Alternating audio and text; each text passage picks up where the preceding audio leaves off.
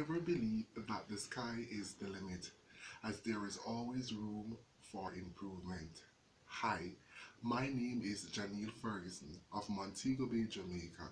I am applying for your US Summer Camp Program 2017 to fill the position of a camp counselor. With numerous years of experience living with my younger siblings and working among children, I will consider myself as an ideal candidate for this post. I enjoy getting involved with children, such as planning, leading, working in groups, ensuring that all activities that children are a part of is as fun, exciting, and rewarding.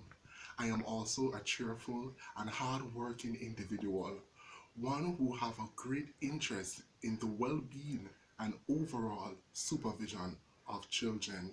With this being said, the general safety, development, growth, and achievement of all children are just some of my main priorities in life. My available date is May 23rd, 2017.